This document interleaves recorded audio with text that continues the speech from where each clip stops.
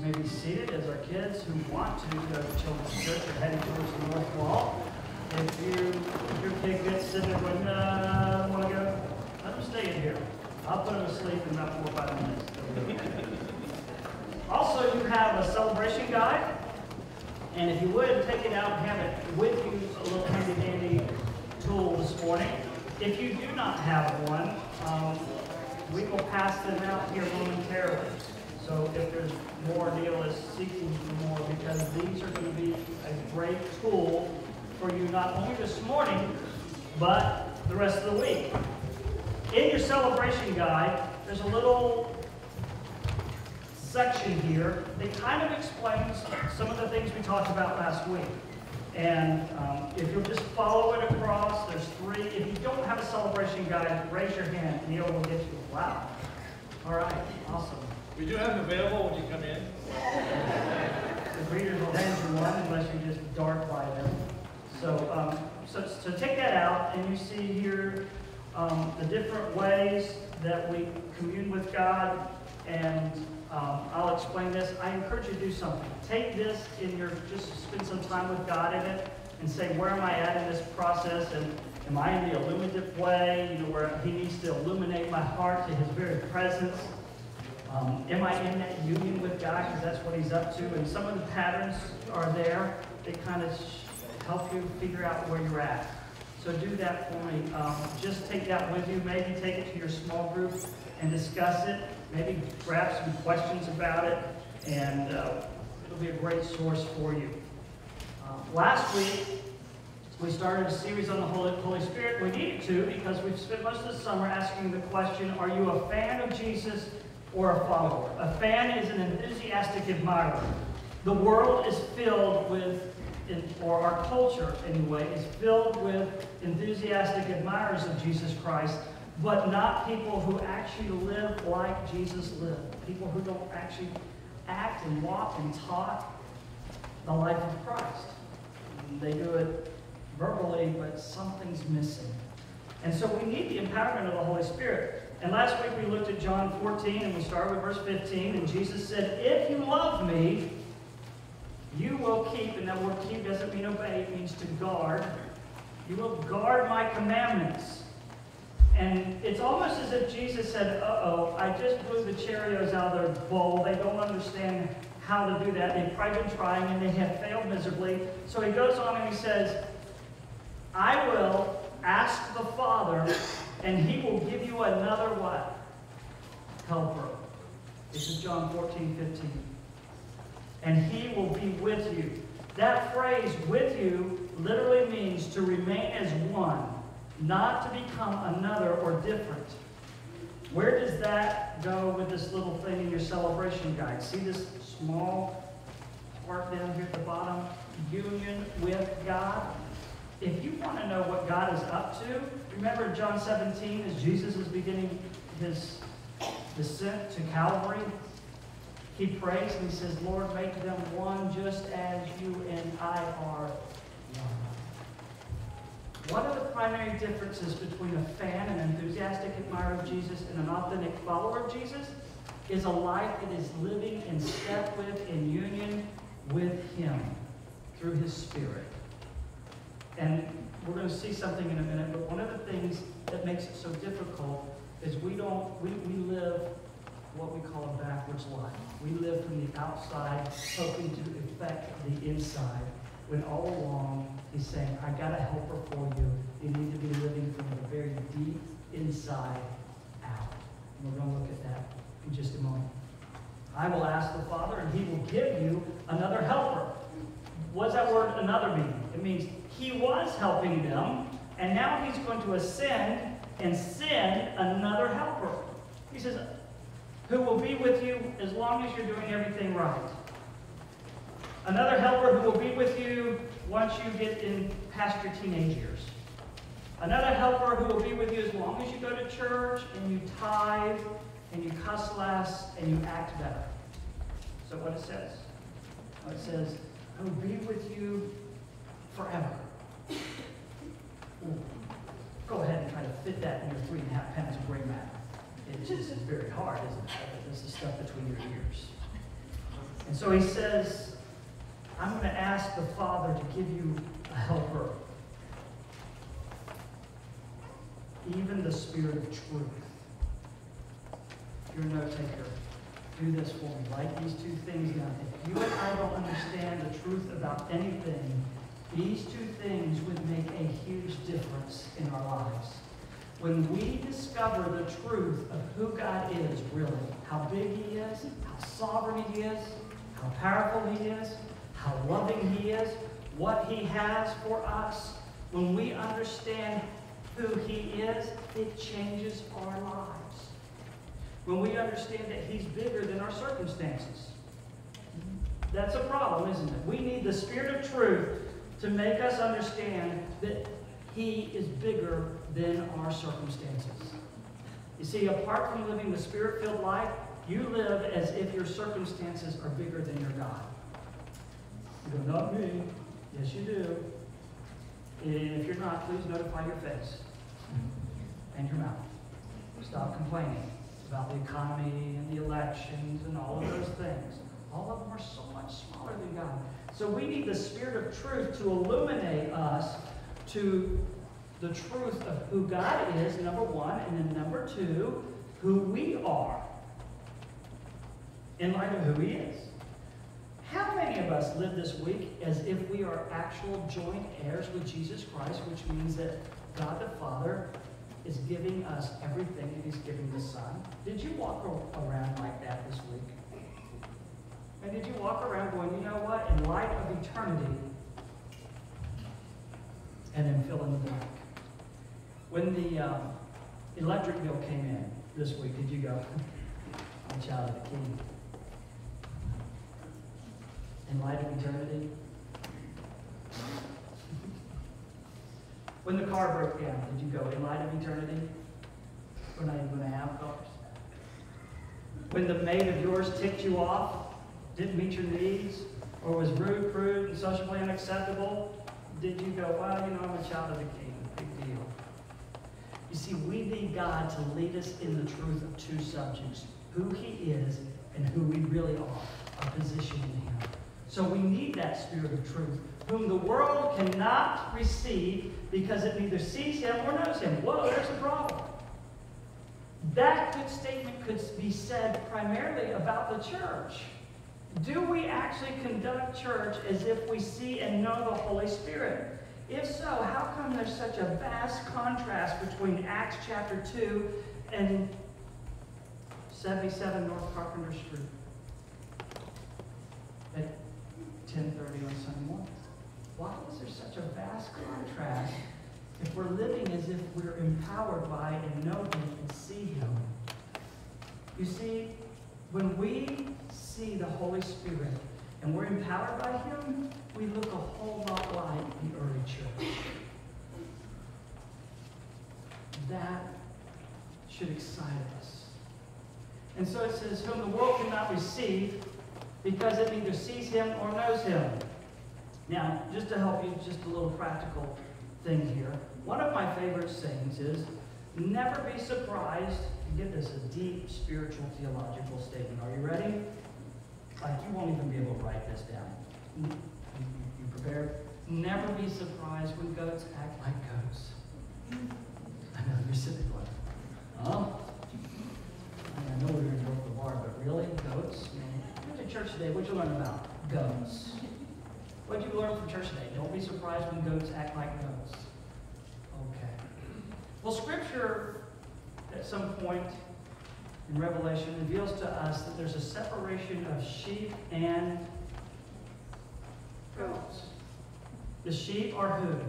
The believers. The goats are who? The non believers. Why is it that believers get offended with unbelievers when they act like unbelievers? Right? Does that not mess, mess with you? Could you just learn to live in this spirit of truth and see the Holy Spirit go away? If a person isn't indwelled and empowered by the Holy Spirit, that's why they act that way. They can't even see Him. They don't even know Him. Why do I have these expectations that they're going to be a decent person? Never be surprised when goats act like goats. At our house, we have Mac. Mac's not a goat. He's about that much better than a goat. He's an English bulldog. He has certain characteristics. He is nasty. He is. From a human perspective, Mac is just gross. If JP leaves his socks, and JP's not the only one that does it, but the, he has in the past uh, several months been the primary offender. If he leaves, we're, we're pretty sure of it. We can't tell uh, after the effect. But if JP leaves his socks out, Mac will not only chew his sock, but he swallows the sock. This is a pretty sharp crowd. Like you're sharper than the first group because when I talked about this in the first service, it took me a while to get them to the exit point of the song, and then they got it. You right away, as soon as I said swallow, some of you went, "Oh, I know what that's going to look like when it comes out the other side." That's you're so sharp. This dog does gross things. If I leave the cap on my septic tank open, because I've been working on it and clogging it or something every once in a while, as soon as he goes in the backyard, guess where he goes and sniffs and wants to get into? He's gross. We have what I call, it's supposed to be like a, a, um, a fish pond little thing in our backyard, which is crazy in Florida because birds, it's just a, it's, it's just an open deli for birds when you put fish in there. But, and, anything else that comes along and eats them. But I call it the scum pond. We can never keep it out. As soon as we let the door open, he does his business and eventually he ends up, guess where? Drinking out of the scum pond. Now, watch this. We don't sit there and beat the dog because he does gross things. We don't yell at him. We don't even, we, we, try to stop him, but we're like, Mac, come on, quit. Why? We expect that out of Mac. Why? He's a dog. And he acts like a middle schooler. I know, we got a couple of middle schoolers going I don't eat socks and drink punches. But he doesn't bathe himself. He's- He, he cares nothing about the audience in which he lives. So he will do things that we just think are annoying. But we don't get mad at him. Matter of fact, we'll get on to whoever left the sock out. The, the thing is about the sock is we, we really can't condemn anybody because we don't, we're, none of us are willing to touch the sock to find out who it actually belongs to. Kind of one of those things. We think it's JP just because he hasn't been with us long enough to be trained on what not to leave out for, for that. He's starting to get it now. But Mac is a dog, and he acts like a dog. Listen, people who don't see or know the Holy Spirit, they act like goats. And when they butt you in the butt, when they chew up your possessions, when they act rude, when they stink, why are you surprised? Really? Why? And so the person who's full of the Holy Spirit says, wait a minute, I need to be led in the spirit of truth. I, I don't want to be a goat. I, I don't want to be that. I want to be, I want to be a child of God, which is, has a quite different nature. A sheep has a quite different nature than a goat. And so we see here that the unbeliever can neither see or know the Holy Spirit. And then he Jesus goes on to say, You know him, for he dwells, and pay attention to this, this present tense word here. He's talking to his disciples. He's saying, He dwells with you right now. And this is the reason why Jesus was excited about leaving, because he says, If I leave, then the Holy Spirit will come, and he won't be just with you. Now he will be in you. In you. Wow. Did you and I really live this week as if we understood that the very essence of Jesus was living inside of us? Now, here. When Jesus says something, either it's true or this whole thing's a lie. Is that not true? I mean, we got to live as if it's true, or we might as well close it. You might as well stop wasting an hour and a half of your life on Sunday morning by coming here, and you might as well just go live for yourself. When Jesus says that the Holy Spirit is going to live in you, that's a real deal. It should be important. I I- I mentioned this last week to one of the services, but you ever hit a point in your life where you wish that you lived when Jesus lived? I mean, wouldn't, wouldn't it be fun to have walked around and to see some of the miracles Jesus did? I, personally, I just want to be there when the pigs run into the Lake of Galilee. I, I just have to see that as wonderful when the Lamb of God, who takes away the sins of the world, casts demons into the sacrificial pigs. That's what they were. They were raised to be sacrifices to uh, false gods, and he just shows total domination and just. I, I would love to see that. I would love to see him raise a dead person. I would love to be there when he said, Lazarus, come forth. And Lazarus comes out and goes, Really? I was having a real good time. then I started hearing your voice. Here I am, Lord. I would love to be there. When they pop into an empty tomb and then he appears to them and says, Hey, go ahead. If you don't believe me, thrust your hand into my side. I would love to be there when he reinstated Peter. We think sometimes, I don't know, maybe I'm the only one in the room that does this, but sometimes I think, you know, it would have been way easier to trust him if I had seen it. The problem here is Jesus said, hey, which don't get upset, I'm leaving you because I'm going to be in you, not just with you. We don't get anything this morning, why don't we get this? Reconcile this in our hearts. Wouldn't we rather him be in us than just with us? And you really believe he's there? Can you see him and do you know him? Because Jesus is saying that the world, the people, the goats, they don't see and they don't know. What does that mean? If you're sitting here and you're going, I don't get this, then you need to be asking God, go help me get this. I don't want to be a goat. I don't want to be a Mac. Trust me, you don't want to be a Mac. So Jesus is making some clear teaching here on the Holy Spirit. Now, to take your celebration guide, and you'll open up to the center section here, I have a little diagram here. It's not original. I have found it cross-culturally. I have found it cross-denominationally. This is a pretty basic di diagram of our lives in this regard. Believe it or not, most all of us have a body. Some of us aren't real happy with it. Some of us are in a building expansion program. If The body's the temple of the Holy Spirit. We think, hey, gain more weight, get bigger spirit. Eh, maybe so. See how that works out for you. That we, we all, believe it or not, we have a soul. When we talk about a soul, we're talking about the mind, will, and emotion. But watch this, please get this. Get this. The soul is the mechanism from which all of our emotions come from. You're unhappy? Where did that come from? Your soul.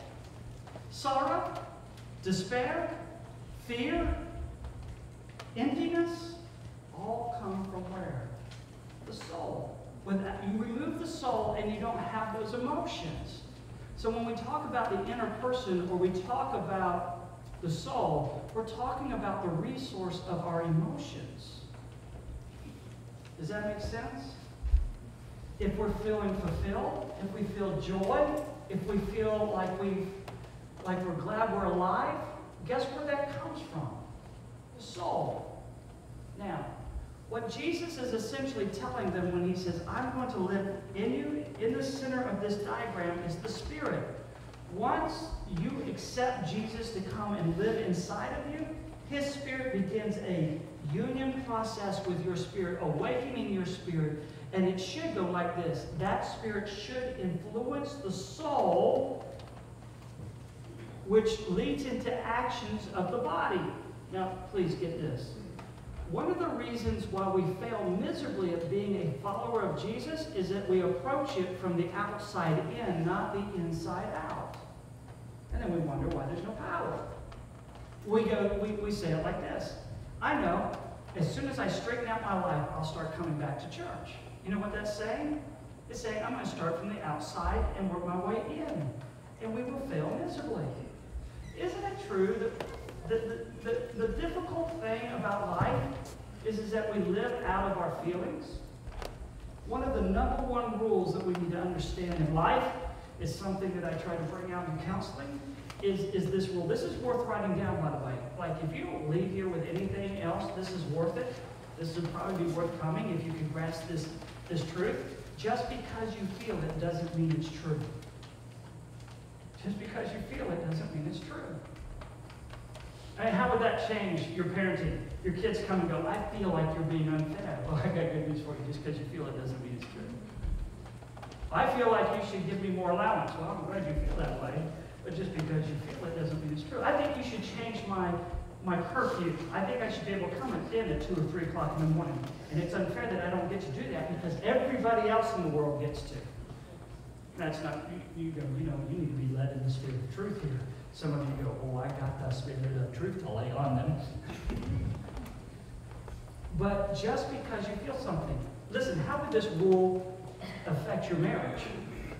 Your spouse ever come to you and go, I just feel like, and fill in the blank? I just feel alone. I just feel like you don't love me. I just feel like I don't matter to you. Well, here's a great rule. Just because you feel it doesn't mean it's true. And so we need to get this. When we're living from the outside in, we have false readings in our feelings. But when we allow the very essence of Jesus, the Holy Spirit, to affect us, and it goes from the inside out, it's amazing how that transforms our souls. Change the way a person feels, and you'll change that person. If they're satisfied, joy. If they're feeling void and empty, depression, sadness. If they're grateful and they're focusing on what they do have and they're in love with uh, they're in love with what they do have, joy and fulfillment. If they're ungrateful, you can never make them happy. Is that not true? Please get this.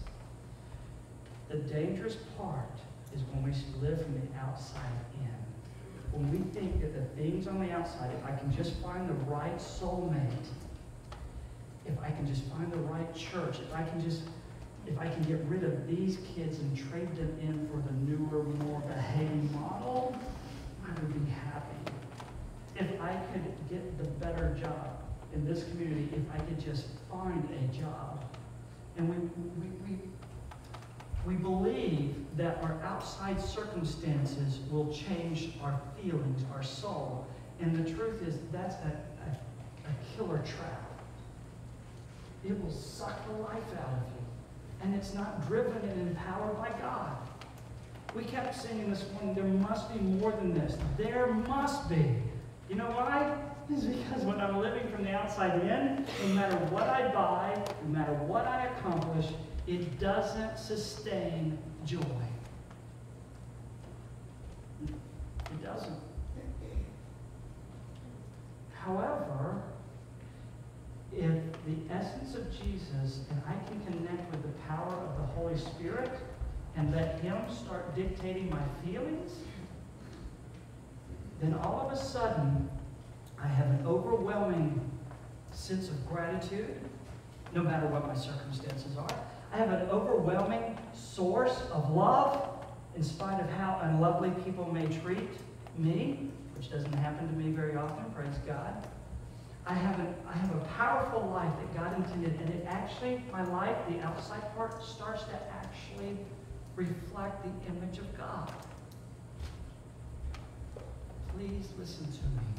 You're not going to pull off being an authentic follower of Jesus Christ if you're living from the outside in. There must be the Holy Spirit. Now, in front of your celebration guide is verse. And um, we're going to look at that verse. John 16, verses 6 through 7. And here's the setting. Jesus has told his disciple that he's going to believe, and so he says this, But because I have said these things to you, sorrow has filled your heart. Sorrow has filled your heart. Nevertheless, I tell you the truth. Why did sorrow fill their heart? Because they didn't understand what God was up to. Is that not true? Uh, Is that not true about us? How many of you felt sorrow in your souls at some point this week? Gee, the first service was much more honest. we do. We encounter sorrows. It's different levels. Sometimes we're going like, oh, I missed the trash day again. Now, that's not a real deep sorrow, but it's sorrow. it's sorrow when she says, We've been living in this house for how many years and it comes the same day every week. I missed the trash again. I didn't miss it this week, I got it. But th- th- that's not a deep sorrow. But when you miss getting a job, or you miss something else, or you miscalculate your finances, sorrow sets in. Listen, they were the disciples had sorrow in their heart because they didn't understand what God was up to. They didn't have the spirit of truth leading them into the truth that Jesus was going to need to leave in order for them to be empowered from inside. You and I have sorrow in our lives for one primary reason.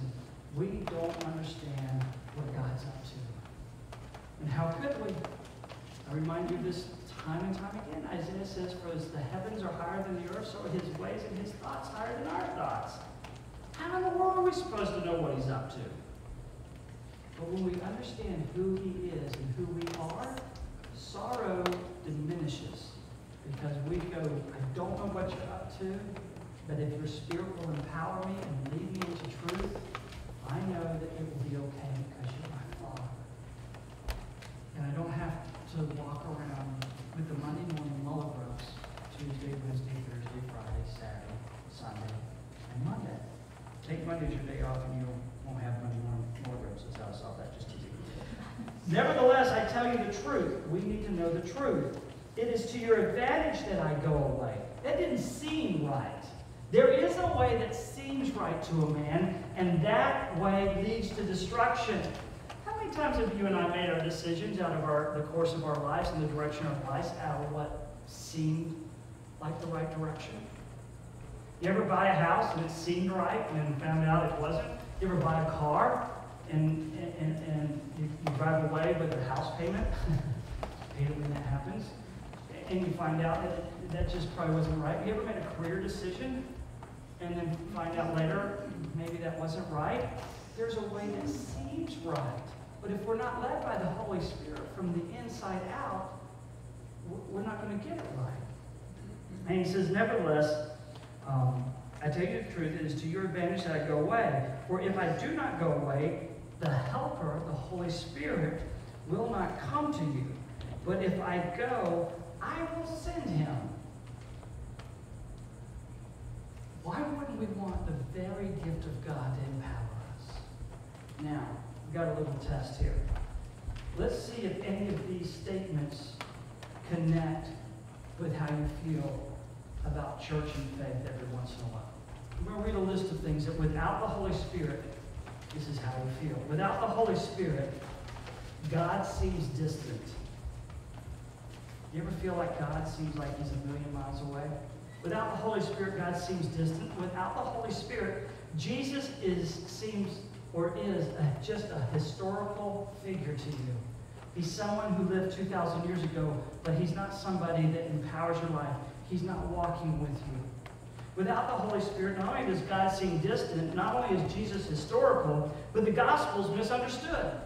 The gospel is one of the most misunderstood things about God in our culture today.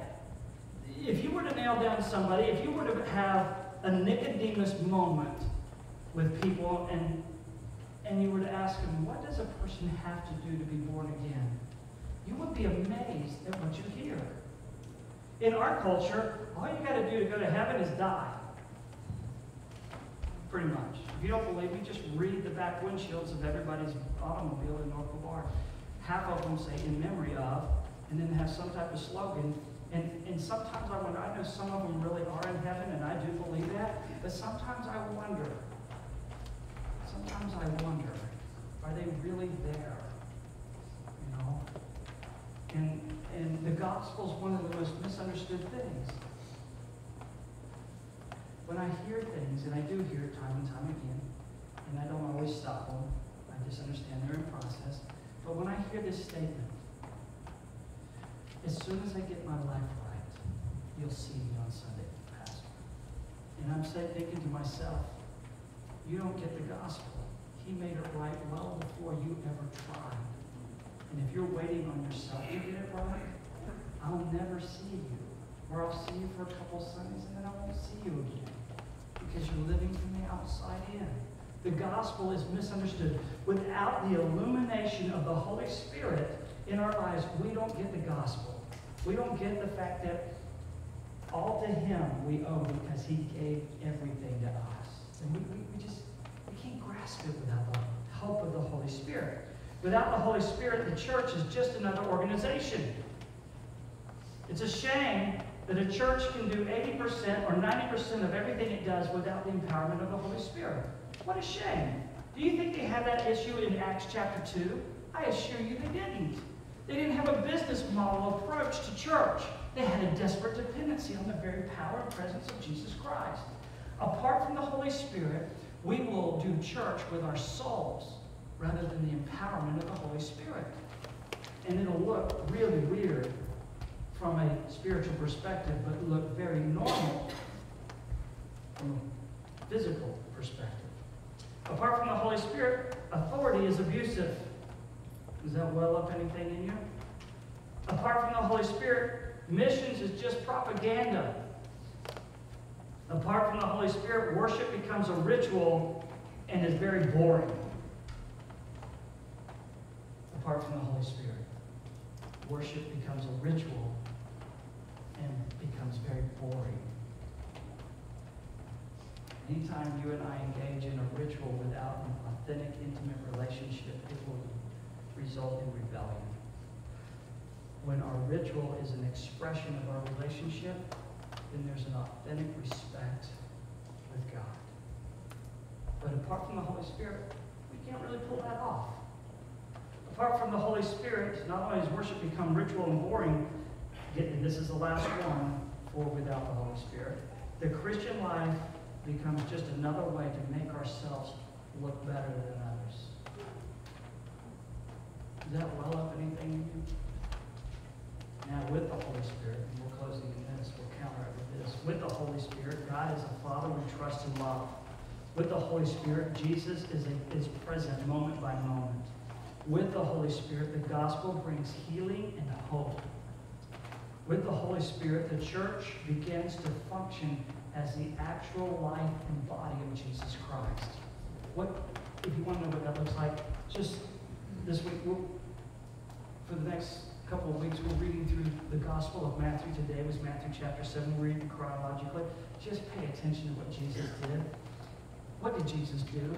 He walked around and he healed people all the time. He couldn't help himself. Somebody's lame? Would you like to be healed? Somebody's blind? Would you like to see? He raised dead people. You minute, is this one of those churches?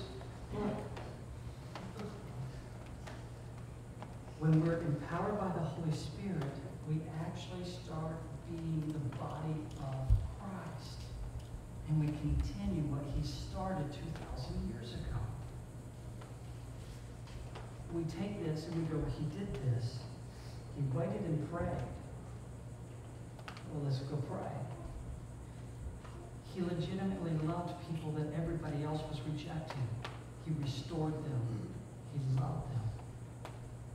Gee, I can do that. I have lots of opportunities around me for that. And so when we're filled with the Holy Spirit, the church begins to act and be exactly what Jesus was. When we're filled with the Holy Spirit, authority becomes a safe harbor and is an unstoppable force of influence in its culture. Without the Holy Spirit, not a chance. When we're empowered by the Holy Spirit, authority becomes a safe harbor for those who are hurting and an unstoppable force of influence in the culture. With the Holy Spirit, missions is a passionate reflex. We've actually had people leave this church because of our missions emphasis and our missions prayer time.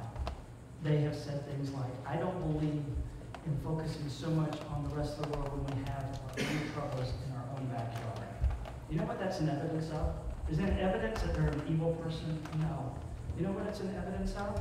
There's a lack of Holy Spirit. Because the Holy Spirit loves and is trying to spread the renown of Jesus, not just to our neighborhood, but the nations. Not just across the street, but around the world. And when you and I are empowered by the Holy Spirit, missions is a reflex. We can't help it. We just feel compelled to go stand in 100 degree plus weather with a bunch of kids and work with them and love them and hate leaving. We, we do something bizarre, like float up on a plane and go to the Ukraine and build baseball fields so that a missionary can teach baseball and teach Jesus to Muslim or to unbelievers. When we're filled with the Holy Spirit, missions is a reflex, not propaganda, not an obligation. When we're filled with the Holy Spirit, worship is a true expression of His matchless worth. I cannot, time is flying by, I cannot, I'll say, expound on that any further. The last thing. When we're filled with the Holy Spirit, the Christian life becomes a thirst quenching refreshment to a dehydrated culture. Would you, would, wouldn't you like to do that? It, do you and I understand that the culture in which we live in is very, very dehydrated? They are just wore out. They're dried up. At times they want to give up. Wouldn't it be cool to just be just your life, just your very words and presence, and the feelings that come out of the overflow of your soul from the influence of the Holy Spirit?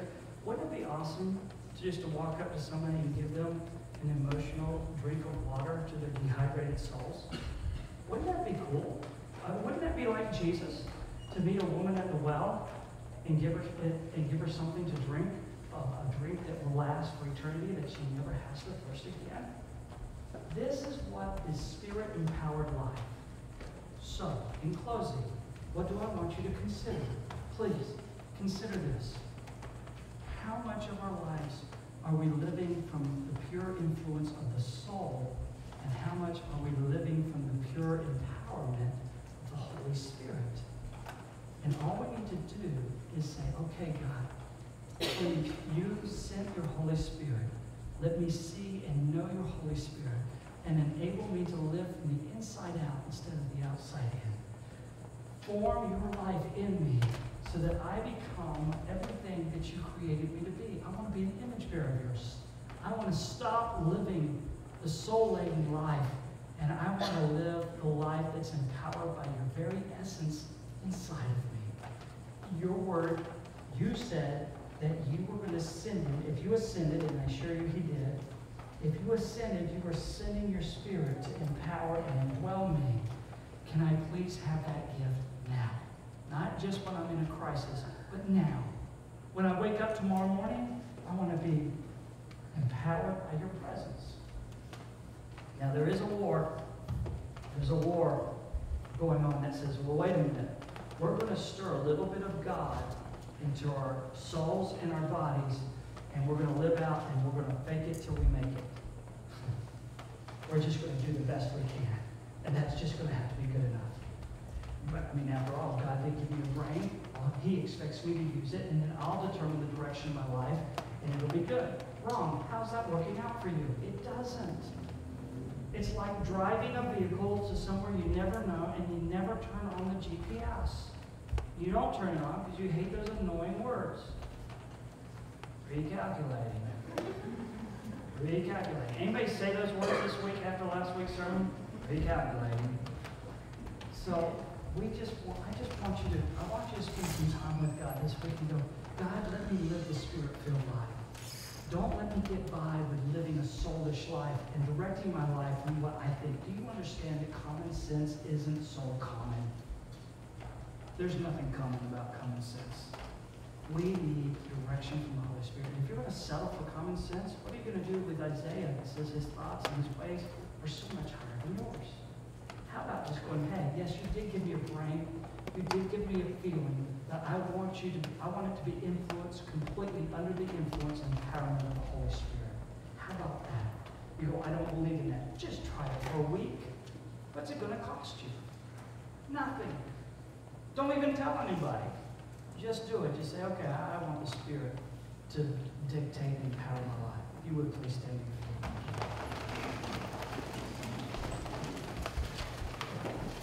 Been so patient this morning. I have a lot to say. And I've been very attentive. If you would, just bow your head.